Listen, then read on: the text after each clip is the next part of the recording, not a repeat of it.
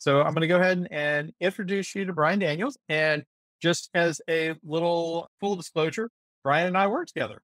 Except I said I'm in the Dallas Fort Worth area. Brian is not because we are a remote team and Brian and I do not work in the same office. But Brian is also a technical project manager at Square and he's been here a little bit longer than me. In fact, I believe he's been working for the company for about six years now, whereas I've been here for Square for about a year. And Brian is our on our team. That's most teams. You have somebody that's really good at one thing and somebody who's really good at another thing. Well, Brian is our Google guy. I'll just put it that way because if I have a question about how to use Google, I used to be really good at reading all the Google analytics and then they changed at the speed of light because they're Google and they can. And now if I have a question, I ask Brian. So with that, I'm going to turn this over. Oh, hi, Andrew. Welcome to the show. Welcome to the uh, presentation. So with that, I'm going to turn this over to Brian, who can tell you more and can tell us all about Google. Brian? As Mark alluded to earlier, we're going to talk about Google Analytics. And uh, we'll go into that a little bit deeper. Mark also mentioned that I keep up with things Google. So there's a lot of different Google products that can help you take advantage of measuring your website, promoting your website, all sorts of cool things like that. And I think pretty much all of them are free. So we're going to look at Google Analytics. That's just one of the products that they offer that will tell you a little bit about how your website is performing. Okay. So website analytics, we can see here, it gives you insight and data about what can create a better user experience for your visitors or what is already creating a good user experience for your visitors. So these can include things like where are people coming from? Are they using like Google searches to find you? Are they coming social media or maybe ads? You can also get a little bit of insight into what they're searching for to find you. You can find out who is coming to your site. So it has some information about users' ages, and I think gender demographics is still there, and also some location information. So you can see like countries and cities and states and stuff like that and see oh, maybe there's certain parts of the world that are coming to your site and maybe you want to speak to them more. You can also see how they are engaging with your site. So, for example, how long they're staying on your site, how many different pages do they visit? Are they interacting with my content? Are they like downloading files or clicking on things or maybe viewing some of the pages that have videos? And then we can start making some deductions, or we could start thinking about things like what pieces of content are performing better. Uh, we could look at stuff like are my blogs doing better? Are my case studies doing better? Are they reading about my organization's departments or looking at careers on our site? This can help us figure out what we'd like to promote more or what we maybe need to beef up a little bit more because people aren't visiting these pages. So the end goal of all of this is to try to convert visitors into customers or constituents. So the only reason we want people to come to our site and the only reason we want them to engage in our site and learn about us is because we have so in the past, there's a whole bunch of different products to figure out how people are engaging. You see some stuff here that record screencasts and conversion metrics and all that stuff. And it got all confusing because you had 10 different places where you had to go pull things together and make some assumptions. So now Google Analytics brings a lot of that stuff together in one reporting system, and it's absolutely free. So some stuff out of the box here is you can tell how many different users are coming to your site, how many pages are getting page views. A page view is basically like how many times a page is loaded. So we can see 100, 100 times our home page was loaded or, you know, something like that. The average number of pages visited.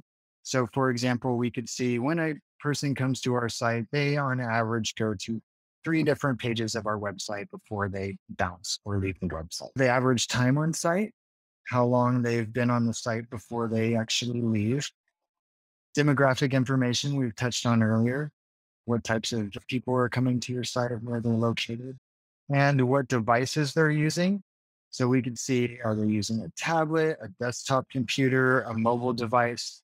These can help us gain insight into do we need to improve any of the performance here? If we've got a whole bunch of people coming to our website from mobile, we better make darn sure our mobile website is, is user friendly. and then figuring out where they are coming from. So again, we mentioned maybe you'll see that a lot of people are coming from Google search engines, or maybe they're coming from social media, or maybe they're not coming from social media. And then that can tell you, okay, maybe we to beef up, beef up our uh, social media campaigns to drive more traffic from these other sources. We can also tell you a little bit about how fast some of your pages are loading. Google, I think, wants pages loading between two to five seconds or something like that. So this can also tell us, okay, there's these pages, they're loading really slow for some reason. There is a chance that maybe Google won't rank them as higher as other pages. It tells you about which pages are performing better than others.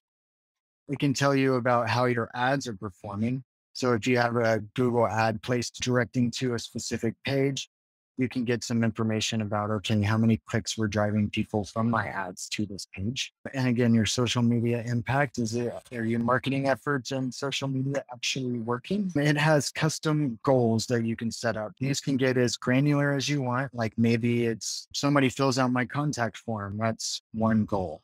Or maybe it's something very specific. Let's say that you're a for profit selling products or something like that.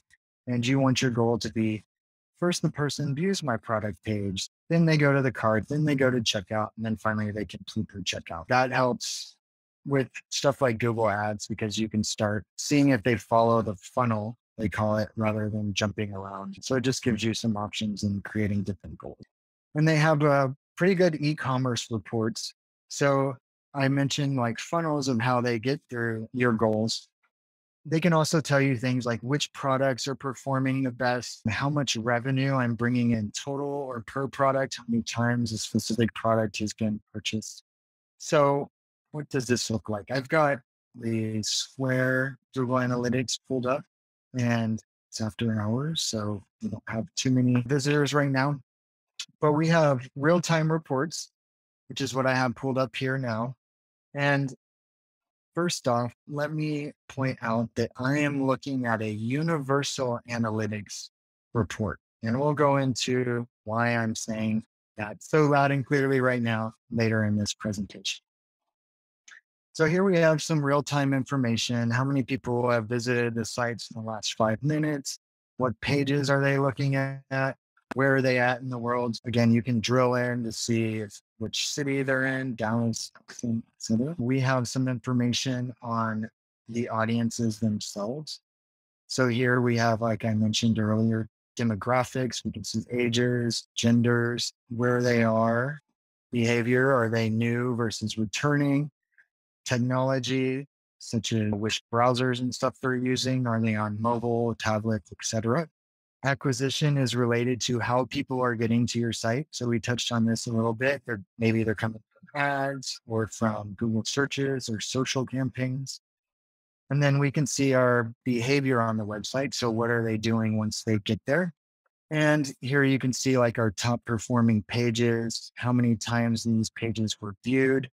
And we can get into things here, like I was saying, site speed, if you have search on your site, what are they entering in your website to find things, etc.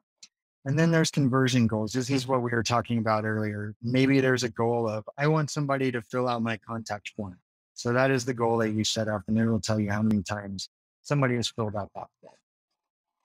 Brian, I'm going to jump in. This is Susanna. I see hey, somebody's. Hi, this I see somebody's raised their hand. Are you willing to take questions in the middle, or do you want to wait to the end? Sure, I'll give it best shot. That page appeared like magic. Could you go to a homepage, like say people.com, show us how you got to that? How we got to uh, the analytics reports? Yeah. Imagine you want up a browser and the user set the homepage to google.com, just like that. You can always search for Google Analytics. I should be the first thing that pops up. There is also, I know the URL. It's analytics.google.com. And so once you're taking there, if you're already logged into your Google account, then it should start showing you your dashboard. Otherwise, it's going to take you to the standard login into your Google account login page. And then I believe you'll just get redirected back to the analytics dashboard. Okay, so that's the, the dashboard page, which you log. Correct. Yeah. Andrew, just to jump in here, to get the Google Analytics to work on your website, Brian, correct me if I'm wrong, but don't you still have to put the custom code in the head of your uh, website? Yes. Yes, you do. We'll get into that a little bit deeper Yeah. here in a little bit. So yeah, so Andrew, if you went to Google Analytics right now, you wouldn't see, unless you have a site set up already, you wouldn't see much of anything other than them offering to walk you through how to set something up on a website. Yeah. So I think um, the first time, if you don't have anything set up, I think there's like there's something that tells your URL and all that stuff. But there are a few steps for it to start getting information from your website into this Google Analytics platform. And again, we'll go over that a little bit. Okay. So tacking on to that, there are several Google products that can work together with Google Analytics. There is a Google Tag Manager, which is something that can be used to put the Google Analytics tracking stuff on your website.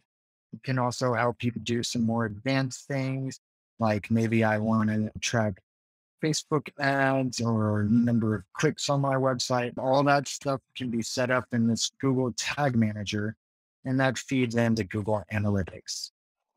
And there's a, a wealth of information on the internet about how to connect these things together, how to set up Tag Manager and stuff like that.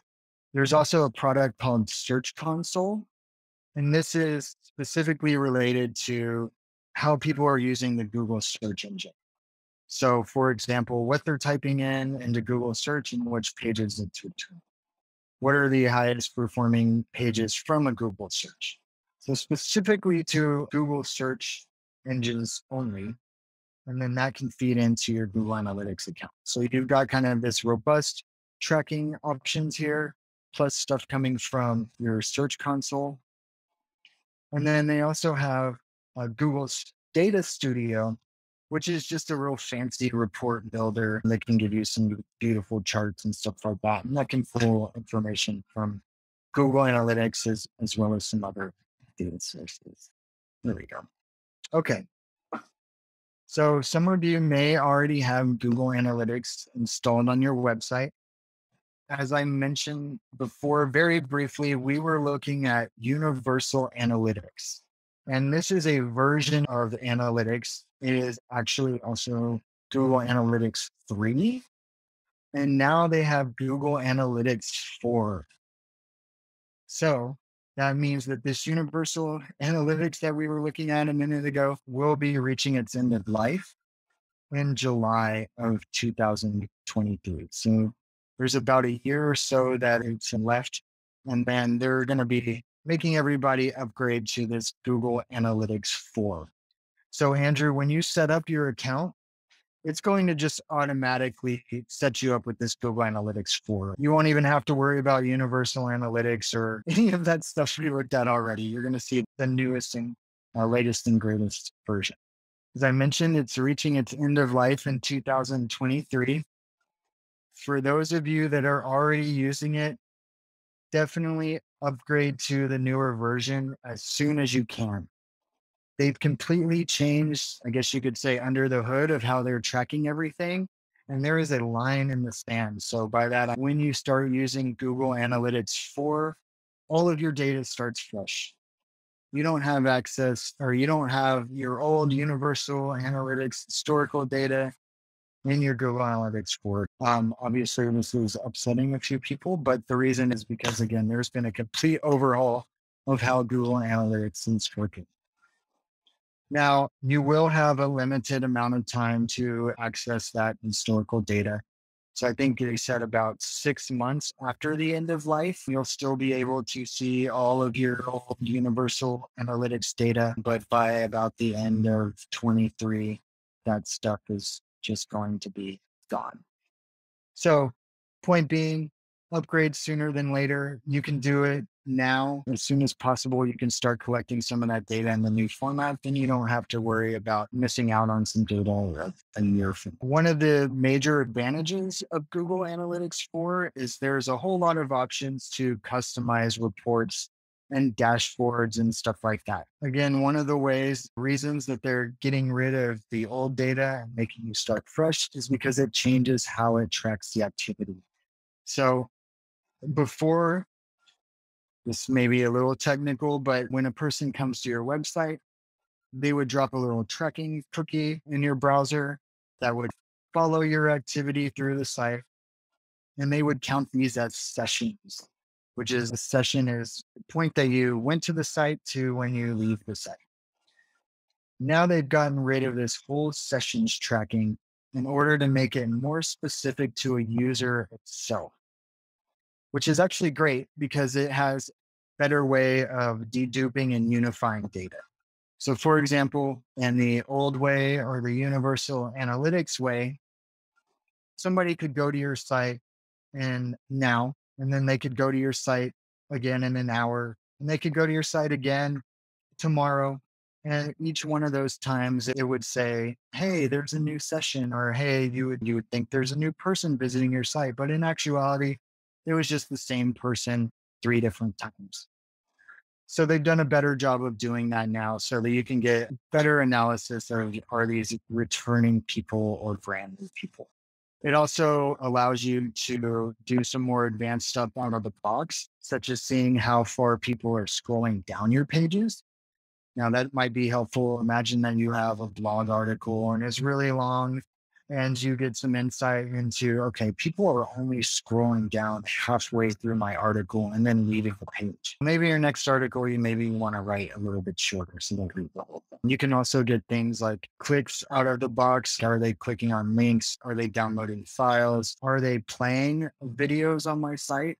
If you're using YouTube videos, then you can actually see some information. The percentage of videos that were watched. Did they watch 100% of my video? Did they just watch 50% of my video, etc.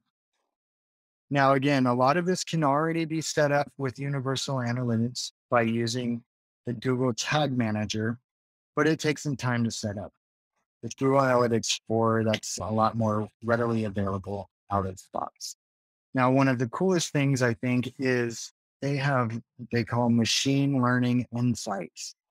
And this is kind of big brother artificial intelligence but it can start looking at some of your data, analyzing your data, and learning your things like trends or anomalies. Like, for example, we touched on uh, a minute ago. Okay, there's a bunch of people that are coming from social media and they're going to this page and they're reading half of your blog. That's a trend that they may identify for you without you clicking around and trying to make some analysis on your own. It can also tell you some anomalies, like, for example, every once in a while, a website may get hit by some sort of spam bot or something like that, which will just totally skew your analytics data. Like maybe you normally have 50 people viewing a page, and then for some reason the next day you're like, got 5,000 people looking at the page, but you have no idea unless you start to, to those reports. So that's something that the machine learning activity going on here. You might want to look in like a way to purchase things on your website. This maybe not just products, but these could be membership dues being paid or donations or event registrations. It can also help predict some of that purchase information for even a specific user. Now, this would require somebody actually logging into your site, but let's say somebody regularly registers for an event let's say that everybody logs into TechSoup website, registers for events, and they all cost money. We can start getting some predictions of, hey, Brian usually registers this many times for this many paid events. We assume that he's going to be doing for this many events next time. So you can start getting a little bit of insight into how much money you may be bringing in the future. Hey, Brian, Pete Yeah. was wondering if you still need to use Google Tag Manager with Google Analytics 4. That's a great question. Technically, no, but I always recommend that we we use Google Tag Manager um, just about any time you can. As a matter of fact, I always tell everyone if you want to use Google Analytics, go ahead and install Google Tag Manager. The main reasons are, like we touched on earlier, there's a whole lot more advanced stuff that you can do. Uh, we talked about like clicks and scrolls and all that stuff. There's even more things that you can do with Google Tag Manager other than those things. And again, you could uh, search online. There's so much information about some of the cool stuff you can do with it. Another thing that I love about Google Tag Manager is you can do some of that stuff or pretty much all that stuff without a developer. So you have your developer one time, put this Google Tag Manager code snippet on your website. Then you just go into the Google interface and you can set up all these cool little tracking things without having to put any other code on your. So, in other words, every time you want to track something new, you don't have to go to a developer and say, hey, now you got to put this thing on my website. And then you got to wait two weeks for them to do it. And maybe they didn't do it right. You have to go back. And there's a lot more features from Google Analytics 4. A lot of them I'm still learning myself, even though it's been around for several months. I'm still getting more familiar with it. I know one thing, again, is related to monetization or getting information about revenue. And Universal Analytics is basically focused on e-commerce stuff, products and stuff like that that people are buying directly from my. In the new reports, you can start tying other things together. Like, for example, if you're selling ads, how does my ad revenue factor into how much money I'm bringing in? If somebody, if you have an application like a mobile app that you have, uh, somebody has to buy to download, you can pull that data in, or you see all these like in app purchases now. You can pull all that data into Google Analytics and get a more broader idea of where your money's coming from. Okay. Andrew, I think this is where you mm-hmm. were getting at earlier. So, the very first thing that you have to do is sign up for a Google account if you don't already have one. And I think, uh, I think it's just like accounts.google.com. You can just do a quick search for get a Google account or sign up for a Google account, and that'll walk you through it. Now, if you already have something like Gmail or really any Google product, you already have an account. So if you have a Gmail account, you already have a Google account. Once that's set up, you need to go to that site we saw earlier, analytics.google.com, where you can do a search to find it. And then it's going to walk you through the little wizard to set everything up that's ultimately going to give you a tracking script, which, I'm sorry, I jumped over this. The tracking scripts are different from Universal Analytics to, to Google Analytics. And um, elaborate that uh, more on that in a second. But they'll give you a little tracking script that you'll copy and paste. And then again, my recommendation is to set that up through Google Tag Manager. So just like the analytics, you can go to the tag manager website after you're already logged in, click the create, whatever they call it. They call it containers. It'll have a little wizard that'll walk you through everything. And it's pretty simple. There's some buttons that say set up Google Analytics, and you just paste in your little code that they gave you when you're setting up your analytics account. And then again, if you're using Tag Manager, this is the code snippet that you'll want to put in. So after you go through this wizard, they're going to give you another code snippet. And that's really all that you would care about once you have Tag Manager set up. Because again, you give it to your developer, they would put that one code on there, and then you could do whatever you want with that bother. I mentioned earlier, there's the Google Search Console which tells you about how people are searching through the Google search engine. You're going to want to make sure that you have that set up on your site. Again, there's a little wizard that can walk you through it. And there's also a little wizard that tells you how to connect it to your Google Analytics to bring all that data together. And then I was touching on this earlier. If you already have your universal analytics and you're upgrading to Google Analytics 4, that little tracking snippet that they gave you originally is going to change. So this is why we're seeing that there's the line in the sand. You're going to have totally new data in your new version of Google Analytics because basically it's coming from a different tracking script. Now, both of those can be installed on your site at the same time. So you can have Universal Analytics tracking script on installed and the new Google Analytics 4. So basically, what that means is you'll start getting data to two different accounts, which would be good if you start looking at some of that historical information. And then just know that eventually in July or a few months after that, only your new G4 script is going to be working. Has asked, is there any reason to use Google Data Studio if you are only using Google Analytics and Google Search Console, not any ads or other data sources? Uh, the short answer is no. I find that the Data Studio is really more for managers, I would say, because they can give you the options like there's templates and stuff like that where you can say, I want pie charts and graphs and all sorts of visual aids, which a lot of managers lead up. They can just say, Oh, look at this pretty report, and they can get emailed to them every week or whatever.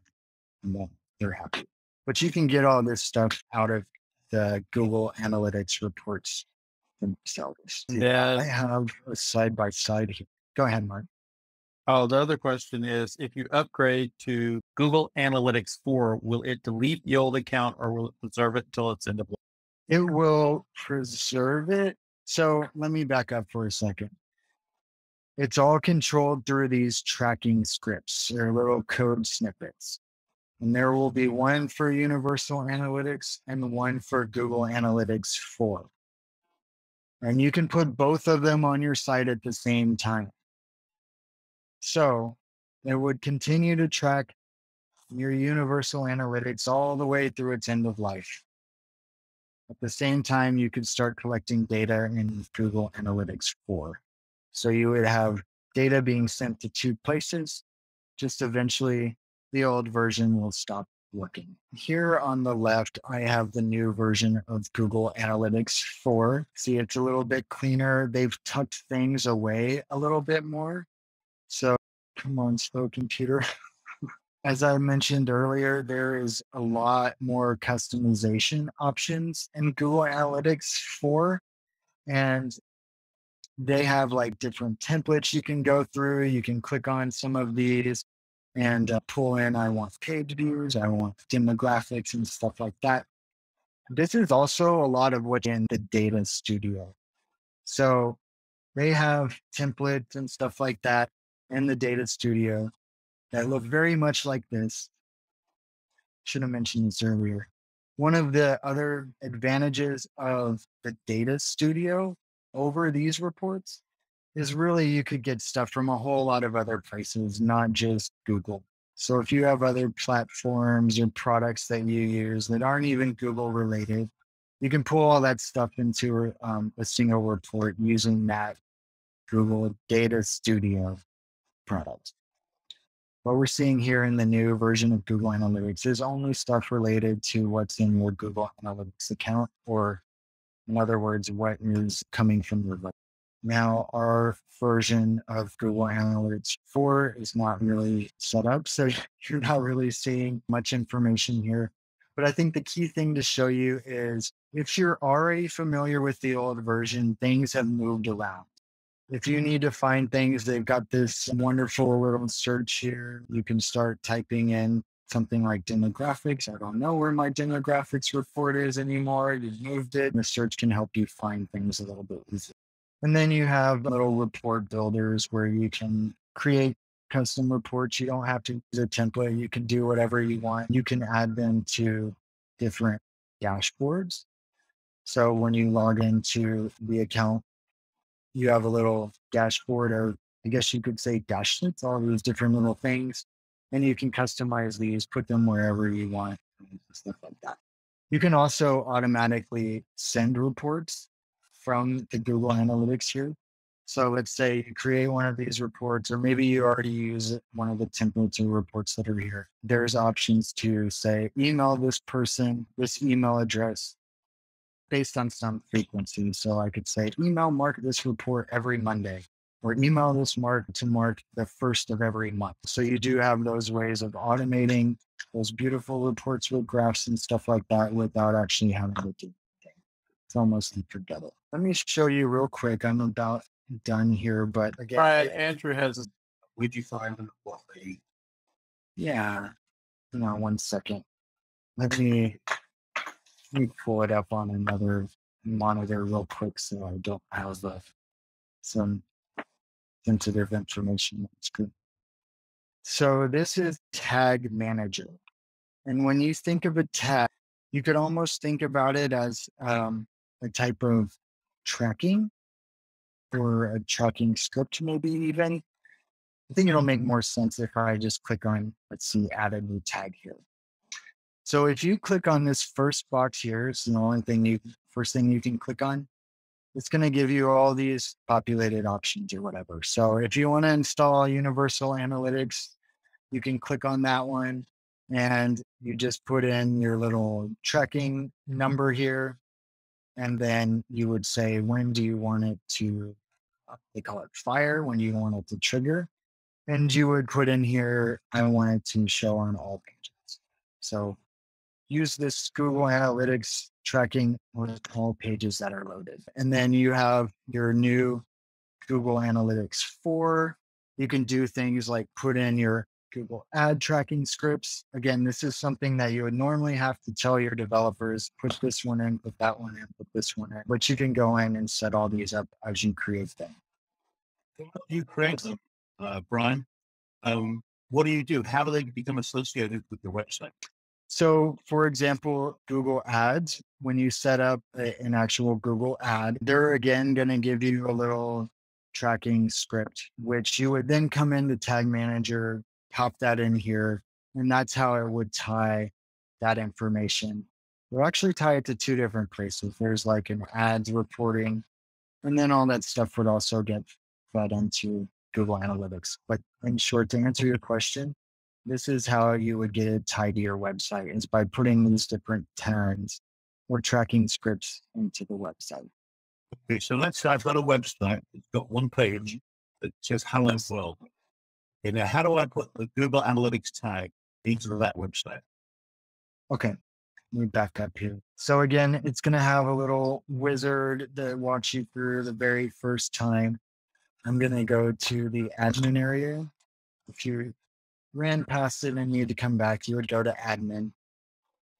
And then there is a link here, install Google Tag Manager.